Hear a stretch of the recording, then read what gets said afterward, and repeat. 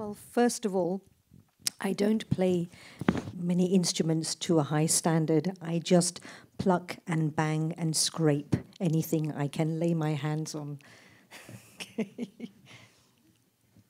yeah. Um, how does that work? So a lot of my work, uh, yes, I mean, I, I work from home like many.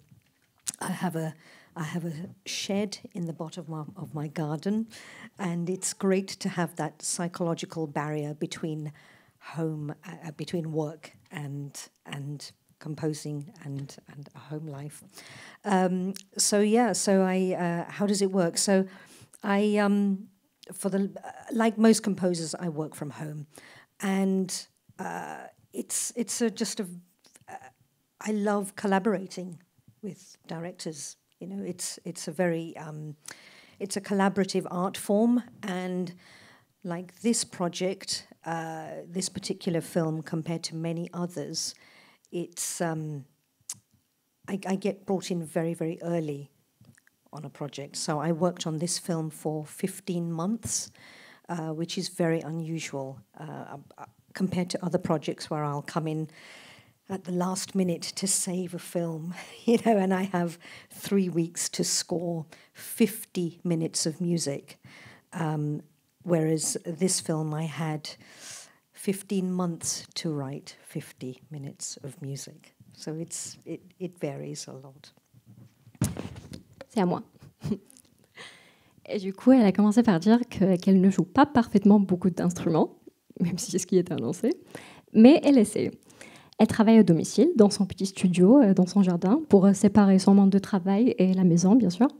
Et comme la plupart des compositeurs, euh, le travail chez elle, le télétravail, comme on dit dans un contexte Covid, ne le dérange absolument pas. Elle aime beaucoup collaborer avec des réalisateurs et des compositeurs internationaux. Elle a également travaillé sur ce film pendant 15 mois, depuis le début, contrairement à ce qui s'est passé euh, euh, à ses interventions euh, pardon, des dernières minutes pour sauver la musique d'autres films. Il y a dans votre musique, dans votre travail, un mélange entre l'électronique et la dimension acoustique humaine. quelle est dans votre composition quand vous commencez votre travail, vous faites des maquettes, ce qu'on appelle des maquettes, c'est-à-dire est-ce que dans cette maquette, tout est électronique ou il y a déjà des vrais instruments?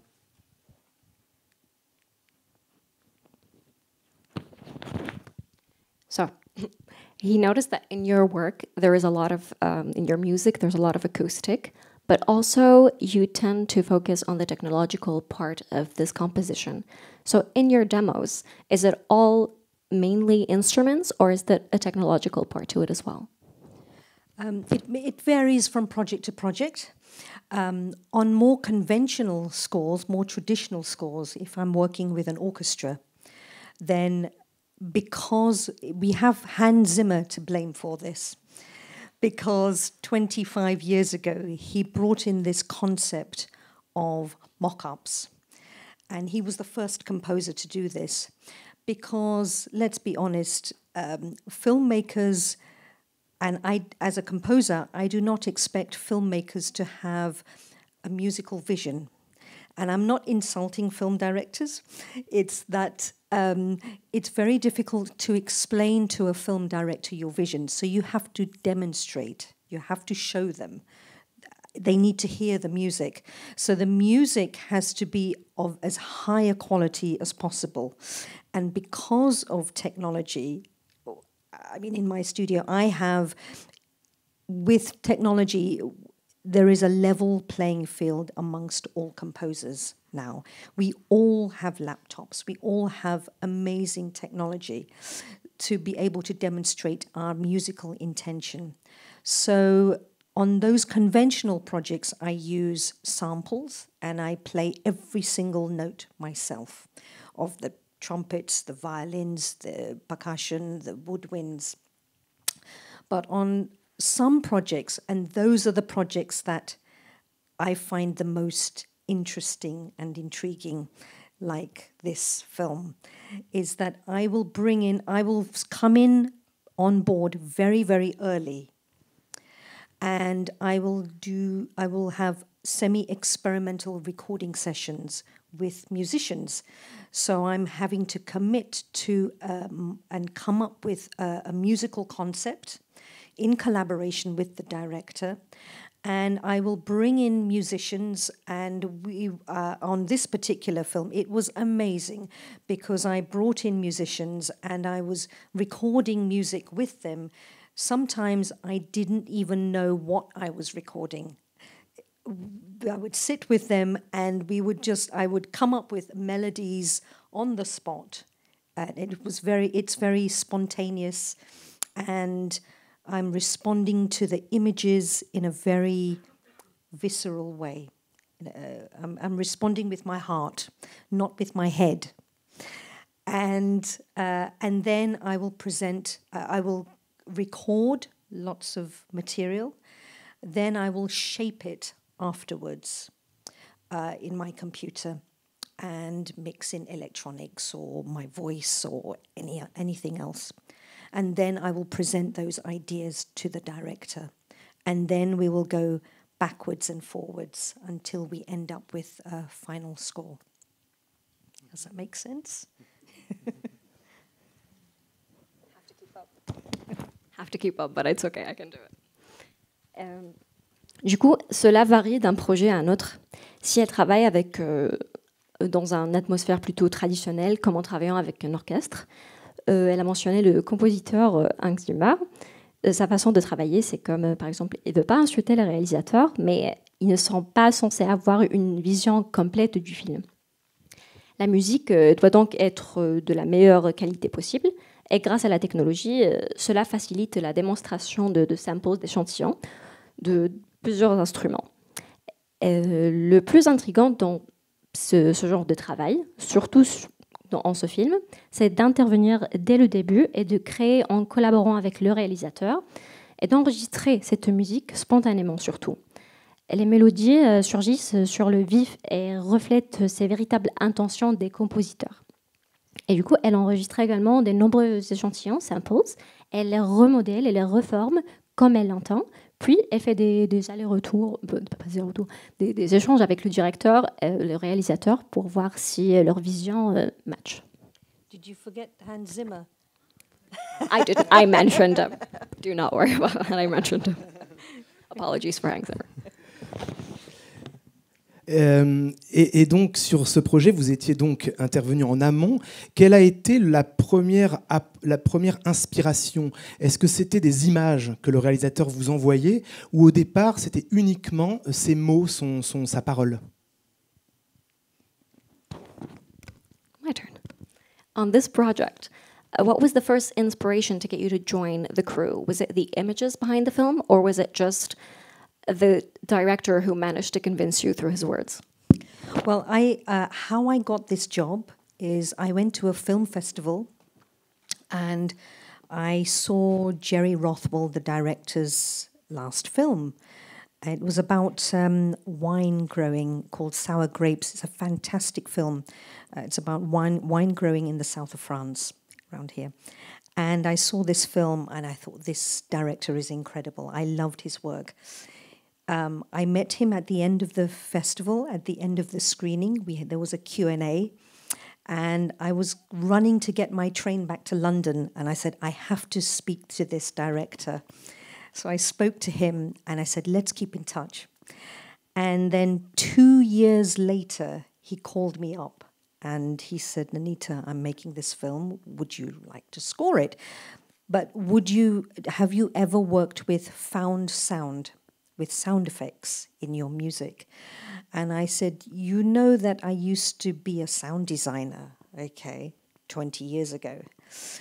So we got talking, and for me, this project was a dream because it is the perfect combination of everything, all my skills that I had developed over the last 20 years of sound design, working, uh, working with musicians in a very experimental, collaborative way, and, uh, and manipulating sound and telling a story through music and sound.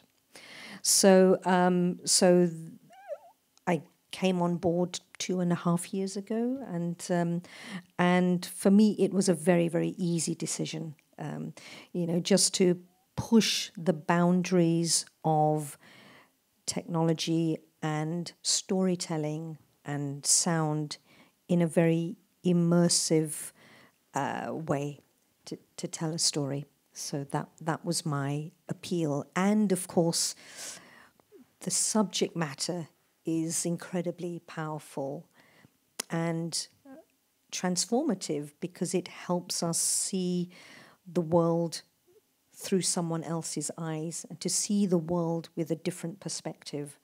So that was a very interesting challenge for me.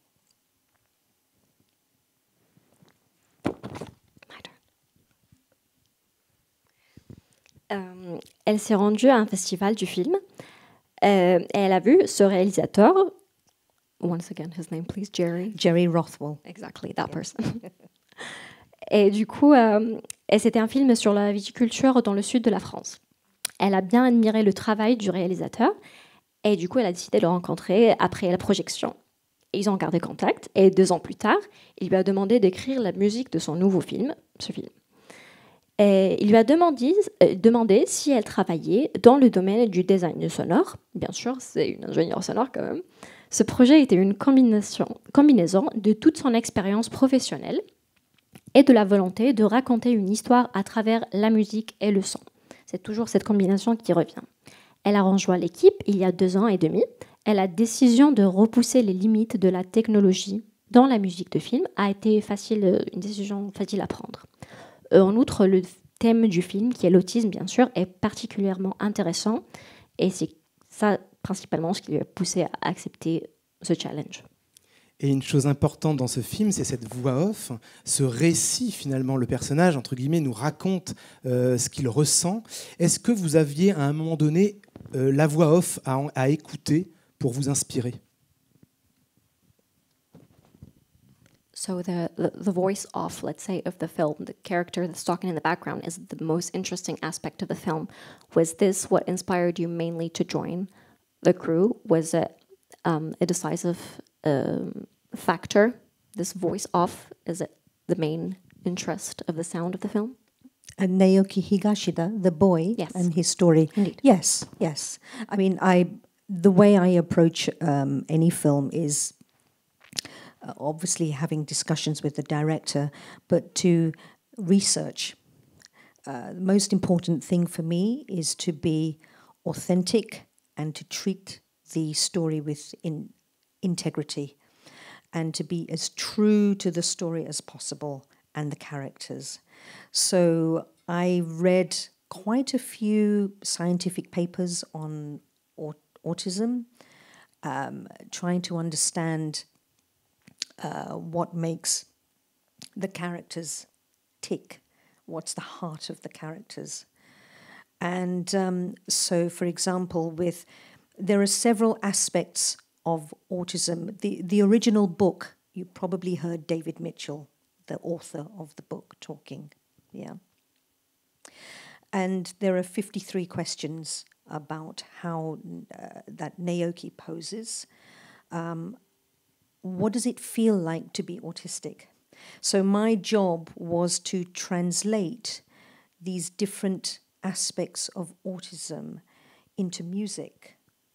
Do you want to say that and then I can carry on? Yeah.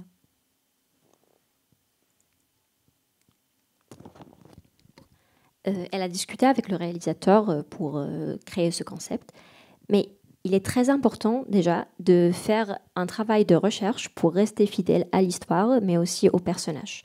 Elle a lu euh, des, articles sur l'autisme afin de pouvoir euh, euh, s'identifier davantage avec le personnage principal.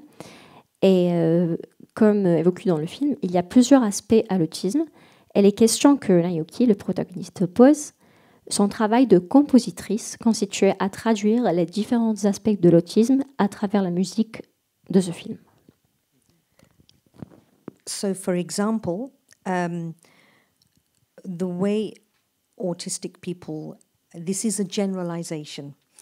Um, the way autistic people perceive the world is they see the detail in objects before they see the whole picture. So we can come into this room and I will notice as a neurotypical person, I will come in and I will see a cinema with people and red chairs and a screen. But neuro uh, autistic people, neurodiverse people will come in and they'll see the light at the end of that room. And because they are hypersensitive to with all their senses around them, they will those senses will be overwhelming. Okay, so the way that they will, so one aspect I wanted to bring out in the music is to, they'll see, it's like pieces of a jigsaw puzzle that are all separate and they all come together to form a whole picture. And so at the beginning of the film and, and some of the pieces, you see, hear little fragments of bits of music, like a jigsaw puzzle, and then they slowly come together to form a whole. So that's one way of translating this um, experience of autism into music.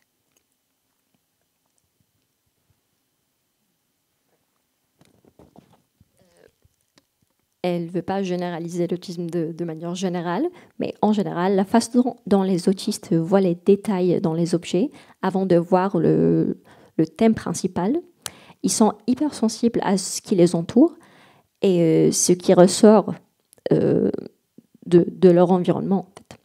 Euh, comme par exemple les pièces d'un puzzle qui s'assemblent à la fin pour former une image principale. Et du coup, en tant que compositrice, euh, ces petits fragments de musique euh, dans ce film s'assemblent vers la fin lentement pour traduire l'expérience de l'autisme en musique de film. Plein d'autres questions sont à poser, mais évidemment, vous êtes aussi là pour en poser. Je vous laisse la parole. Sans plus attendre, n'hésitez pas. Oui, euh, je.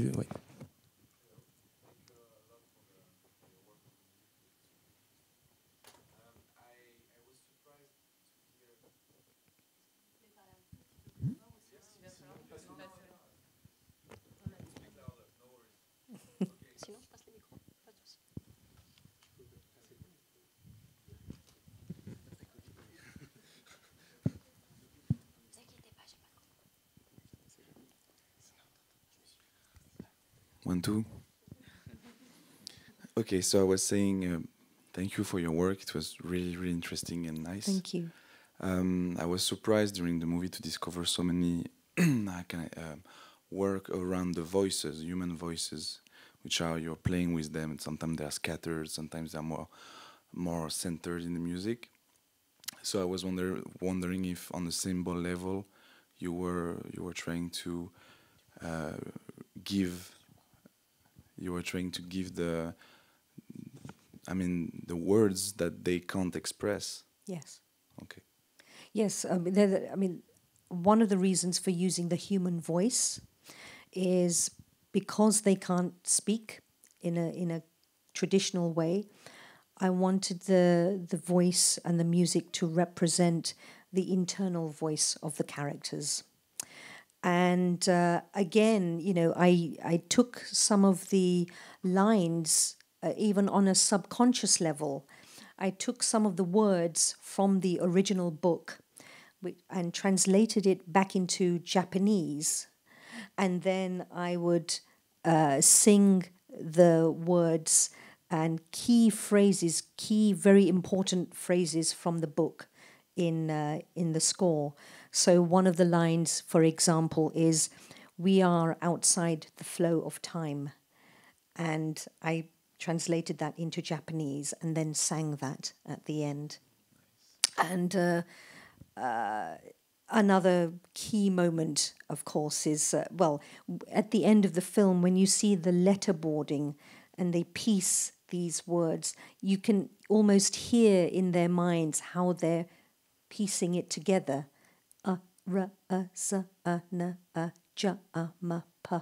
The reason I jump, you know, and you hear that on the uh, on the title card. So there are some. We didn't want to overdo it, but there are some very subtle moments that uh, we wanted to get across like that.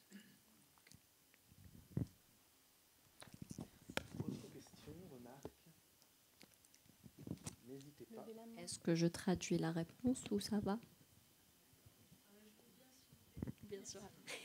C'est pour ça que je suis là, t'inquiète. Euh, du coup, euh, euh, l'utilisation de, de cette voix off est ici pour représenter la voix interne du personnage. Elle a pris certains euh, des mots du livre original qui a inspiré le film et les a traduits vers le japonais, la langue d'origine. Et elle a chanté ces phrases clés du livre. Une des phrases euh, vers la fin a été traduite et puis c'est elle qui la chante vers la fin. Autre moment clé du film, aussi à la fin, c'est on peut presque entendre le titre s'assembler mais lentement, ce qui reste, ce qui reste une référence subtile. Alors, questions, commentaires Qu'est-ce que vous avez euh, ressenti dans ce film? Allez, je fais un petit sprint. Parce qu'en plus, c'est filmé, donc c'est pour ça, c'est pour que ça puisse être enregistré. Merci. Um, thank you for your music. It was really beautiful. It was like a, a river, really, the, that flew with the with the whole of the film. Um, I was wondering. You talked about those experimental recording sessions that you had throughout that sort of enabled you to have live musicians in your mock-ups, and also, I guess, to sort of um, develop the concept of the score throughout the collaboration.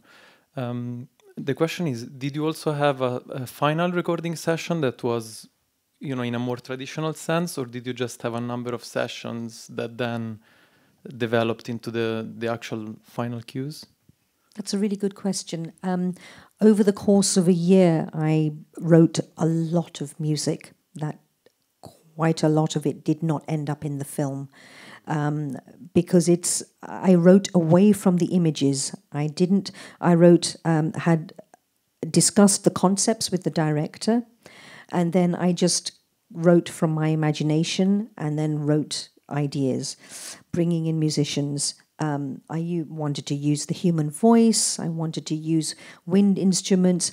One of the parameters that I set myself was I would not use any synthesizers or any electronics. So everything you hear had to be created from the sound effects in the film. So the sound designer I worked, who I worked very closely with, would give me um, sound effects, uh, and then I would manipulate them and treat them into pieces, and then work with the musicians. So, uh, so yeah, so it wasn't. It was a very untraditional process, um, but it's something that I use more and more and more in my work. Um, I'm scoring a, a drama series for the BBC at the moment, and the team are giving me sound effects, and I'm manipulating them and using them uh, within the score and creating music out of it. Thank you Thanks. Je traduis. Euh, ah. Euh, pendant un an, elle a écrit euh, beaucoup de, de- de parties de musique euh, de- pour ce film, dont une grande partie n'a pas été intégrée au final, mais elle a composé à partir de, de son imagination au début, sans trop s'appuyer sur le film, forcément au, au départ. Euh, elle ne voulait pas utiliser trop l'aspect électronique. Tout ce que vous entendez est créé à partir des effets sonores du film qu'elle a pris et qu'ils étaient manipulés en de nouveaux morceaux sonores. Une méthode, bien sûr qui reste non traditionnelle, mais qu'elle utilise de plus en plus souvent. Euh, la musique a un pouvoir sur le film pour déterminer l'humeur du film. C'est ce qui c'est la magie justement de la collaboration. Il faut qu'un réalisateur puisse bien s'entendre avec la compositrice pour que la compositrice ne transforme pas l'in- l'intention de la mise en scène. Et là, il y a le choix dans la musique d'avoir une musique plutôt euh, bienveillante, plutôt qui retransmet un certain émer- émerveillement chez le personnage alors qu'elle aurait pu être plutôt angoissante. Mais elle ne transmet pas cette angoisse. C'est la musique qui vient décider que le personnage, il est dans une bulle de féerie quelque part. So um, the music and the sound, they both influence the tone of the film.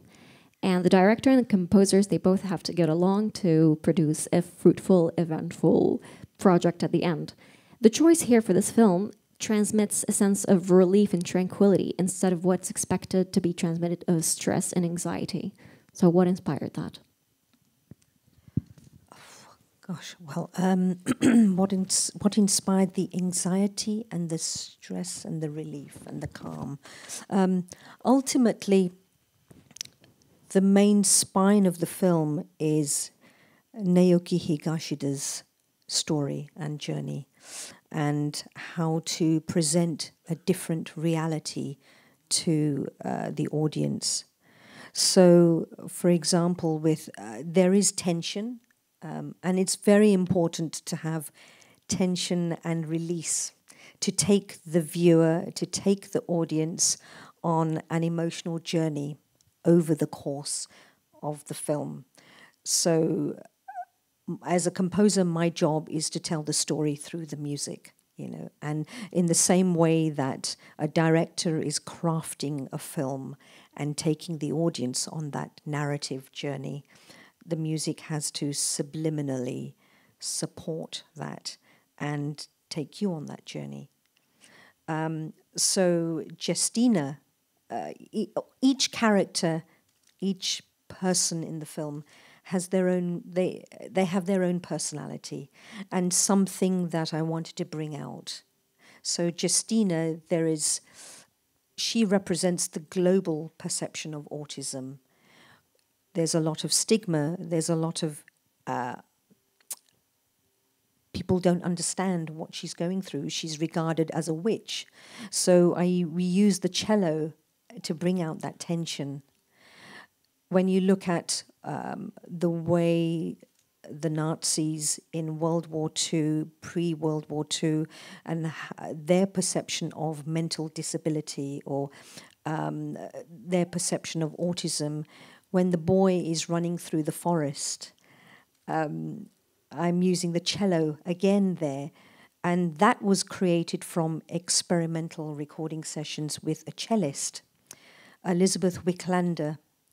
She's, um, she's an amazing cellist who is autistic herself.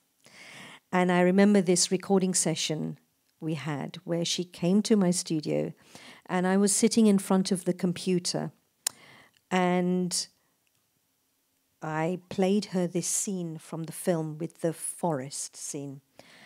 And uh, I turned around and looked at her, and she was crying. And I said, What's wrong, Elizabeth? And she said, I said, Is the music that bad? You know?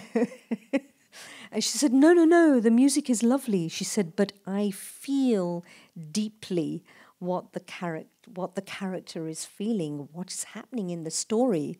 And for me, that connection, it made me see the story and the characters in a different way. And that's why it was important for me to, when I choose my musicians, I choose them very carefully. The violinist in the score is Daniel Pioro, who is Jonny Greenwood's violinist. He played on Phantom Thread and um, There Will Be Blood and these incredible scores. And when I, I, I audition my musicians in the same way that an act, uh, a film director will audition their actors, you have to have the right person with the right tone and feeling that they can bring their creativity to your score. So to answer your question in a very long winded way, I want to bring that uh, a huge variety of variety of emotions, that tension and release and empathy and, and all of that through the uh, through the music. One other thing is the, spine of the film is as um, the difference between the sound design and the music in the film of course, it all comes together. But there is a difference. This, the sound design represents the abstract nature of autism. The music has to represent the heart and the emotional side. So there is a piano theme that you hear uh, that's quite emotional.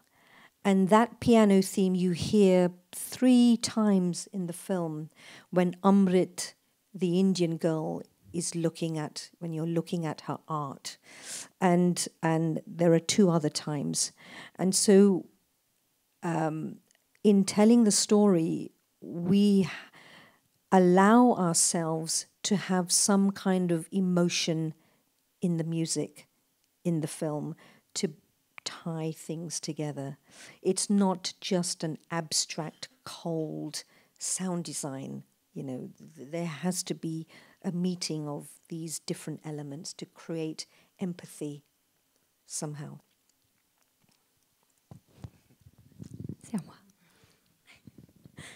Euh, le socle principal de ce film, c'est Nayuki, qui représente euh, en fait une réalité différente euh, pour le public qui voit l'autisme d'un côté général.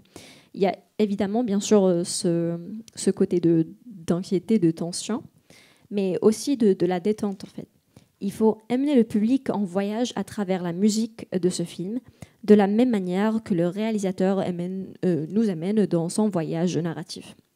Justina, par exemple, et chaque autre personnage ont leur propre personnalité, et, euh, et c'est quelque chose qui doit être mis en valeur. Il y a beaucoup de stigmatisation autour de, Justina en tant que personne autiste. Euh, le violoncelle ici a été utilisé pour faire ressortir cette anxiété. Pendant euh, la Seconde Guerre mondiale, par exemple, la perception de, de la maladie mentale en général était différente. Le violoncelliste est, est également autiste, Elizabeth, et, euh, et le travail de co- collaboration entre les deux était incroyable. Elle a pleuré lors d'une session à un moment donné et Nanita a pensé que la musique était mauvaise en fait. Mais ce n'était pas le cas bien sûr, c'est juste la façon dont la musique traduit les émotions et l'intention derrière le personnage.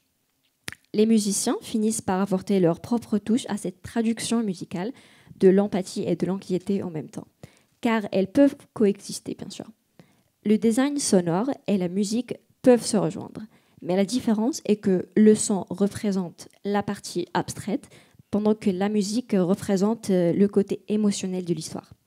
Le piano euh, dans ce film reflète cela parfaitement, et les émotions, bien sûr, relient les choses entre, les, entre elles.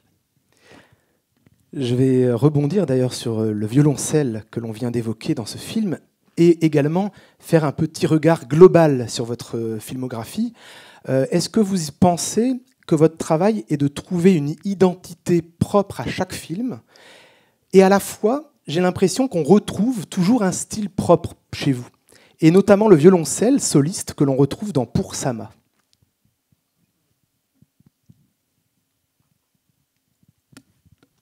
Uh, speaking of the cello, do you think it is necessary to find a personal identity in each of the films that you composed? Et, et dans la même, et dans le même temps, on reconnaît toujours un style propre chez elle, notamment l'utilisation du violoncelle dans Pour Sama. Uh, this um, separate identity, uh, f- musical identity for each film, is notable in your movie for Sama, especially in the usage of cello in it. What do you think about that? Yeah, I, I mean, all, all uh, every film is. You can't take the music from one film and put it on another. You know, and and what happens when you're scoring a film? Quite often, a film director will take some music from some Hollywood movie, you know, and and they will put it on their film, and they say, "I want something like this," and you, it's which is why a lot of Hollywood movies all start sounding the same. um, a certain genre of film. Um, every film has a unique identity. Every film director wants a unique score for their film. Um, I mean, with For Forsama, For Sama, um, it I scored that film in three different ways. I spent a year and a half working on that film. And originally, the director wanted a Hollywood style score, a big, bombastic, epic Hollywood drums and strings and, and so on. And I did that because this is a film about the Syrian revolution. It's an epic story. And then halfway through the edit, the whole narrative, the whole story changed and it became more intimate. It's a story about a mother and a daughter and what it means to be human in extreme circumstances. in this case, the war and the, and the revolution. So the music that I wrote no longer worked. And we started stripping things down, um, making it more minimalist. And because it's a, it's a, it's an emotion, human story. And then I discovered a violinist, a Syrian violinist who's also a refugee, and he was living in Italy at the time. And he was the key, the musical key for the film, because the musician, uh, his style of uh, violin playing was very raw and edgy and dirty and gritty. And it's like it was like the crumbling city of Aleppo with all the bombing and the shelling going on. So when we put that to the images, it sudden everything clicked into place. And that became the sound of the film in a very subtle way. So there's that's how we found the uniqueness of the score for, for Sama, for example. Euh, du coup, chaque film est unique à sa manière. Euh, parfois, le réalisateur veut quelque chose, euh, un morceau, une musique qu'il a entendu dans un autre film. Et c'est ce qui fait que la plupart des films d'aujourd'hui se rassemblent au niveau musical. Mais la composition de Forsama euh, a duré pour elle un an et demi. Et à l'origine de, la composition, le réalisateur euh, voulait une ambiance euh, hollywoodienne pour le sang. Et c'est ce qu'elle a fait, parce que c'était ce qui était demandé. Euh, mais la narration a changé, bien sûr. Vu que le film parle de ce que signifie d'être une mère et d'être humain pendant en temps de guerre, la musique ne correspondait donc plus à l'esthétique du film. Elle a donc après découvert un violoniste syrien qui a été la clé musicale du film parce que son style en fait était brut et reflétait parfaitement ce que les images voulaient raconter. Et c'est ainsi ce qui représente l'unicité de- qui a été trouvée pour le film For Sama. Et donc on, entend dans, dans les mots de Nainita à quel point elle réfléchit, elle pense euh, à la musique, comment elle peut rentrer en relation avec le film. Et on lui souhaite de beaux projets à l'avenir. On guettera les prochains projets, notamment The Tower actuellement sur Canal+, une série en trois épisodes dont elle a fait la musique, The Tower. Je vous la recommande aussi. Donc voilà, merci Nainita d'avoir partagé votre expérience. Merci, bravo.